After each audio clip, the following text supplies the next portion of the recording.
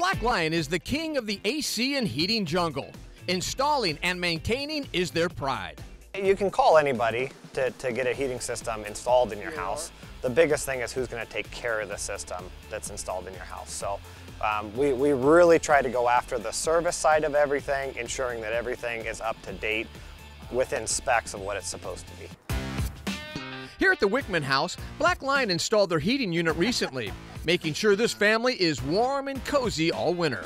Today we're doing uh, maintenance on a HVAC equipment. So this is a system that we've installed um, and so we're out here doing a maintenance on it and showing exactly how to maintain your system. And where is the system? It's down here, you wanna go? Yeah, show me what, so it's right here? It, it's underneath the house, it's in the crawl space.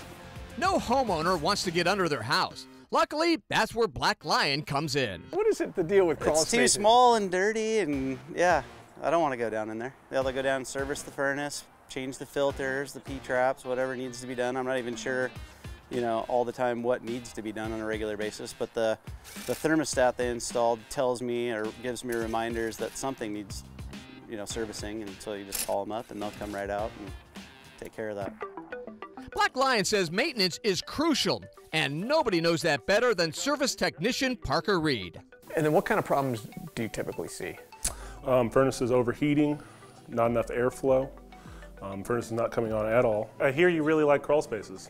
I can't stand crawl spaces because they're creepy, right? Yeah, so, well, hey, look, I got a really nice one down here. Let me show you. All right, let's do it. Why don't you go first? I'll follow you down. All right, don't be scared.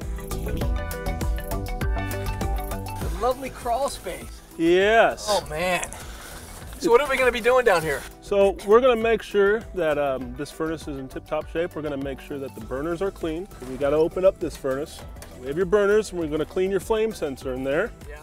We have your, this furnace creates condensation, so we wanna make sure that it can flow freely out of your furnace. So we're gonna clean your condensate trap. So you guys do a lot down here. We do, we do quite a bit. We wanna make sure that your furnace doesn't stop working in the middle of the winter time. I'm going to meet you upstairs. All right, sounds good. Have fun this In just a short time, Black Lion was wrapped up with their maintenance call, assuring a warm winter for the Wickmans. Black Lion tends to take care of my home when they come in, you know, taking off their shoes.